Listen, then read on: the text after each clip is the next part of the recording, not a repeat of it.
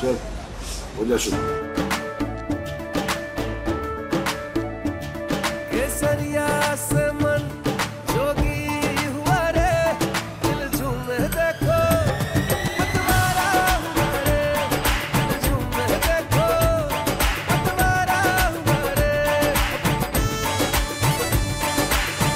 हर पल मनाओ केसरी त्योहार विमल बोलो जुमा केसरी बोलने के ये बंगाल में ये नया राजभवन में रुकना this is first time happen after independence LOP को घुसने नहीं दिया। विक्टिम को बुलाया governor with written permission 200 victim with LOP ये इमरजेंसी का टाइम में भी नहीं हुआ था। वो सोच रहा है, वो उसको 29 सीट मिल गया। बंगाल में दूसरा कोई पार्टी नहीं है। लेकिन two crore thirty five lakh voter they voted in favour of lotus thirty nine percent people they cast their vote in favour of BJP इतना बड़ा ताकत है अपोजिशन का। ये अपोजिशन को खत्म करना चाहता है। इसका साथ जनता नहीं है। ये मुसलमान वोट और धांधली करके चुनाव जीता है। एक डायमंड हार्बर कॉन्स्टिट्यूंसी में दस लाख टेन लाख से ज़्यादा फॉल्स वोटिंग किया एक कॉन्स्टिट्यूंसी में।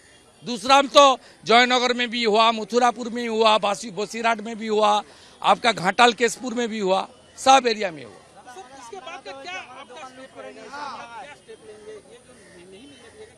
ला हम लोग ऑलरेडी स्टेप ले लिया ना। ऑलरेडी स्टेप ले लिया। पब्लिक इंटरेस्ट लिटिगेशन किया कोर्ट एक्सेप्ट भी किया और कोर्ट 18 को हियरिंग के लिए रखा है।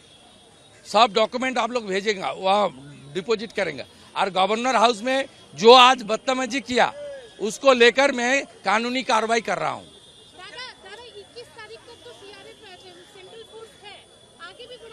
उसका 18 को हियरिंग है। हम लोग का जांची का हम लोग का जो रीट में जो पील में मेरा एप्लीकेशन है ऑनरेबल चीफ जस्टिस का पास उसका बेंच का pass up to Durga Puja central force रहना चाहिए।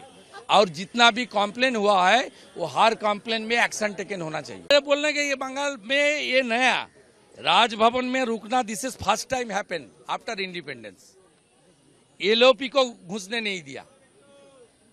विक्टिम को बुलाया governor with written permission 200 victim with LOP ये इमरजेंसी का टाइम में भी नहीं हुआ था।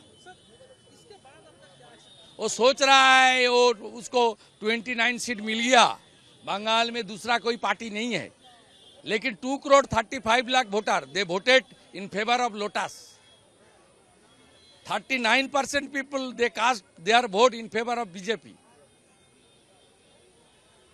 इतना बड़ा ताकत है अपोजिशन का। ये अपोजिशन को खत्म करना चाहता है। इसका साथ जनता नहीं है।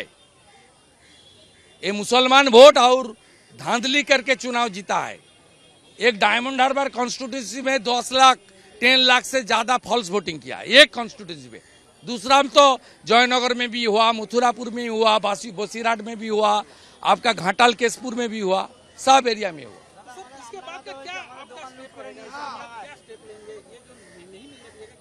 ला हम लोग ऑलरेडी स्टेप ले लिया ना। ऑलरेडी स्टेप ले लिया। पब्लिक इंटरनेशनल लिटिगेशन किया कोर्ट एक्सेप्ट भी किया और कोर्ट 18 को हियरिंग के लिए रखा है। सब डॉक्यूमेंट आप लोग भेजेंगे वहाँ डिपॉजिट करेंगे। और गवर्नर हाउस में जो आज बदतमीजी किया उसको लेकर मैं कानूनी कार्रवाई कर रहा हूँ। दादा दादा 21 तारीख को तो उसका 18 को हियरिंग है। हम लोग का जांची का हम लोग का जो रीट में, जो पील में मेरा एप्लीकेशन है ऑनरेबल चीफ जस्टिस का पास, उसका बेंच का pass up to Durga Puja central force रहना चाहिए। और जितना भी कॉम्प्लेन हुआ है, वो हर कॉम्प्लेन में एक्शन टेकन होना चाहिए।